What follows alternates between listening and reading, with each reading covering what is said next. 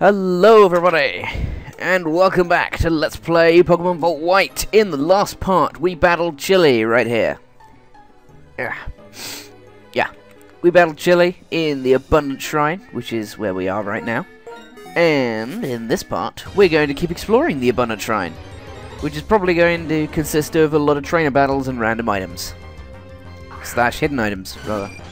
Followed by a certain uh, attempt at a legendary capture. Or an attempt at, at the capture of a certain legendary, rather.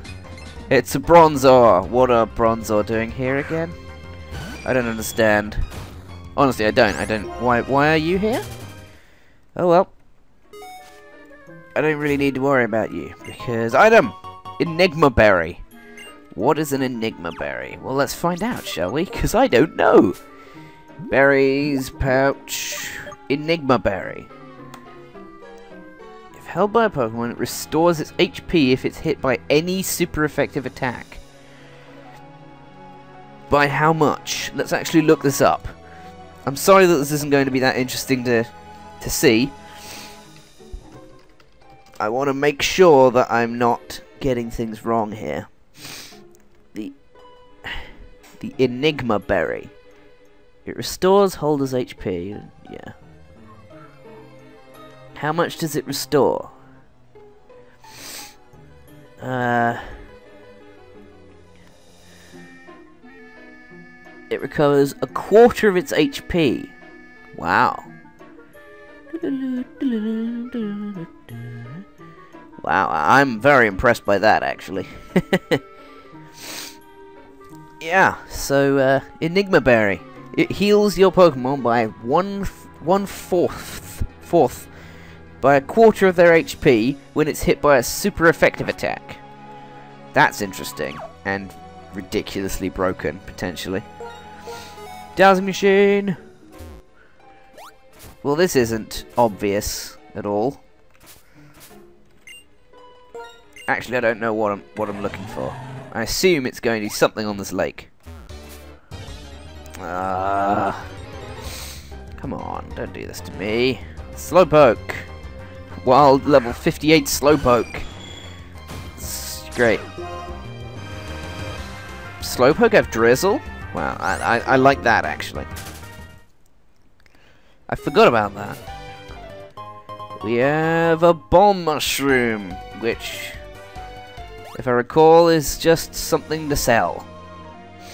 That's great right there, that is. And that's an item over there. I want it. Can't I can't have it by going that way. Let's waste my time with another round of battle with a Cottonee. uh, this is getting silly, come on. I don't need to deal with you. Go away. Go away and stop wasting my time. I'm going to have to kill you. I don't want to kill you. I'm slightly pacifist, except I'm not because I defeat people on a regular basis. I'm such a hypocrite. okay, you're getting annoying. You're you're irritating me. Goodbye. Mega Horn. like that would have worked anyway. Flying in Steel type, man. Quad resistant. The fact that you actually got an attack off is, even if it missed, is impressive. I mean, you are, what, 30 levels below me, so the fact that you survived one of my attacks is fairly impressive, even if it was just from a Skarmory. That's a Murkrow, and I don't even want to deal with it. Just go away. Stupid random battles that aren't worth worth barely any experience ever. Let's just nearly get to the end. Damn it. Another Cottonee. Go away, Cottonee. Jeez. Why are you even here? I don't even I don't understand. Why is this place not full of ridiculously overpowered Pokemon? And grass types. It's got a grass type, Cottonee. That's the only one I've seen so far this is the kind of area that would fit grass types especially. I mean, it's... It's called the Abundant Shrine. Abundant, as in, like, a lot. And generally, usually something to do with nature, for some reason or another. Abundance is usually, yeah, like, in reference to nature of some kind of or another. Kind of fits grass types and such. That's a lot of damage, because Tangrowth have a lot of HP. Zebstrika... Well, I, I can stay in. I can stay in and deal with the Zeb, Zebstrika. Because I want to heal. Wild charges, he's faster than me. Well, that's annoying. The, the fact that you survived, I am very impressed by. Healing! Yay. Zebstrika also have Flame Charge. I'm actually going to switch. I expected to be able to deal with this fairly easily. Apparently not. Kinda sucks. Bakugami's turn. Bakugami's turn. How do you like resistance? Immunity, in fact. Earthquake! And you use agility. It's not double team, man. It's not increasing your evasiveness. You aren't going to be able to, to dodge this no matter how fast you are. I know that makes no sense, but I don't care. Hooray. And muscles dinged. 89. Electrode. I think Marilyn can handle an electrode, as long as it doesn't explode. That would suck explosion right now? Uh, that would kind of suck. Electrode. Level 87. It is the fastest Pokemon in Generation 1, so it will almost certainly outspeed. Or I could be EV trained in speed, apparently. Or maybe have high high IVs. I don't know. Why why is an Electrode got a got Gyro Ball? Electrode is the fastest Pokemon in Generation 1. Why does it have Gyro Ball? a move that increases in power the slower you are compared to your opponent. You'd only be able to, to get any any decent damage out of it if you were fighting a Deoxys speed form or something ridiculous like that. Or, or a Ninjask.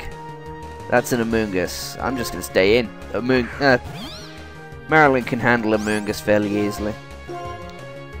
Grass Psychic. Yeah, Grass... Grass Psychic grass uh, poison, man.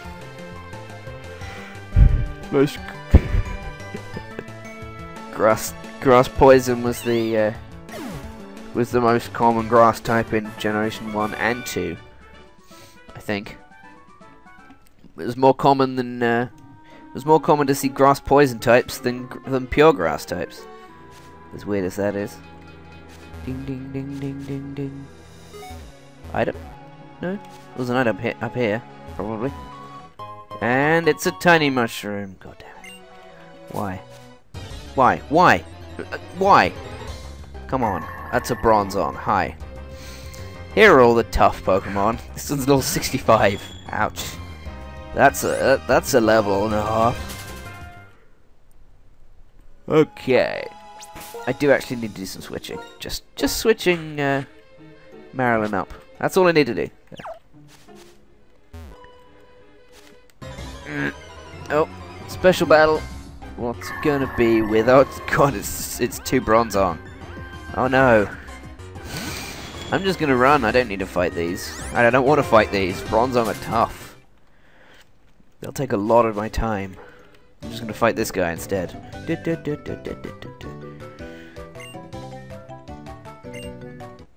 Landorus, huh? This guy's got an idea of what uh, of what's here. Emerald?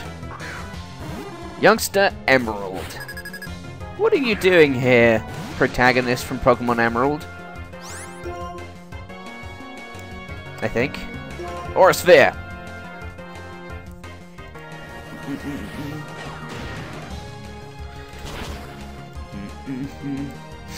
yeah, Sudowoodo is not a tough Pokemon.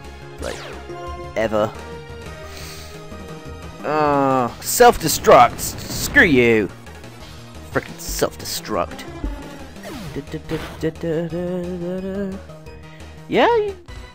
Wow, Marilyn survived that. Okay, Emerald has... Emerald is actually changed from the, uh, from the first... Fr from normal black and white. Snorlax. I can't fight a Snorlax with a... with a severely weakened Alakazam.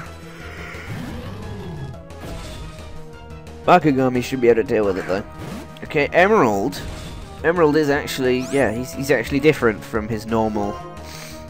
Normally it's uh, youngster Lester, who's quite weak in general, really. But now we've got this guy who has a full team, and yet isn't, yet hasn't got any event event events centered around him. Giga Impact. Oh, I hate you too. but you're not going to get very far. Because Giga Impact you can only do once every two turns. Tut tut tut. You should learn your uh, your Pokemoning. Mantine. Mm. Bantha can handle a Mantine fairly easily.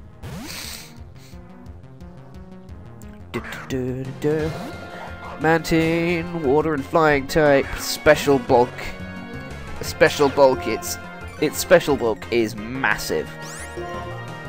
It can take so many hits as a special uh, special special attacks. Even from electric types, it can take loads of hits from. Just its special defense is excellent. That's some damage. Unfortunately, its HP isn't excellent. It's okay, but it isn't excellent. Sceptile. Alright, switch to, to, to uh, Bakugami to deal with that as well.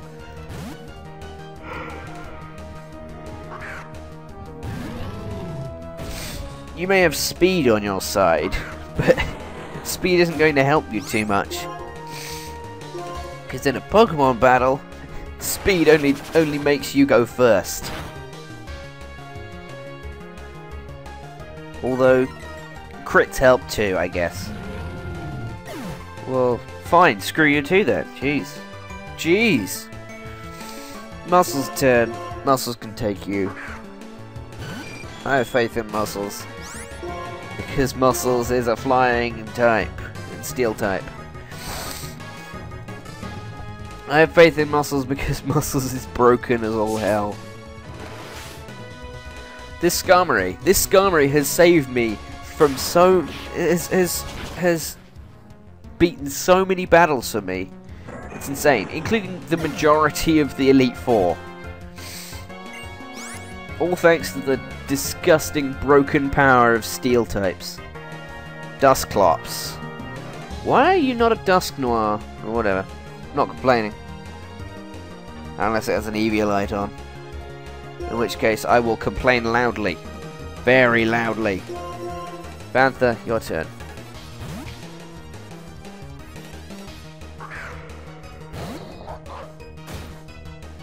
Yeah. I'm not too worried about this Dusclops as long as it doesn't have an Eviolite on. Because Eviolite Dusclops is BS. I mean, it's it's perfectly legitimate in the game's terms. Doesn't make it any more fair or like, not evil at all. Freaking... Dusclops was a, was a Pokemon built to... Curse body. Dusclops was a Pokemon built in Generation 3 to be a fully evolved tank. And then it got an, an evolution in Generation 4 that made it a better tank. Then it got access to the Eviolite because it was wasn't fully evolved. Oh, frick! Crunch is not not able. It's disabled. Now, D Dusclops was already built to be a tank, and then with the addition of its uh, its evolution to Dusknoir in Generation Four, and its then the addition of the Eviolite as a as an item in Generation Five, Dusclops became like an uber tank. Really good, a really good tank. I mean, it's not... Oh. It's not perfect by any means. Pure Ghost isn't an excellent type. And, uh, Pure Ghost is an excellent type, and it doesn't have an excellent. It doesn't have a, that good a move set.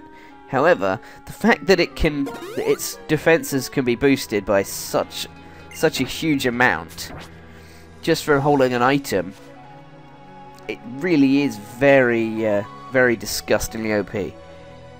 But I'm going to cut the video here because that looks like an important cutscene up there that I do not want to waste. That, that, that I do not want to uh, to use to go over 20 minutes or so. I'm going to cut the video here. I'll see you guys next time when we see what that stuff is. Is, uh, well, what, what that stuff means. I'll see you guys next time. Goodbye, everybody.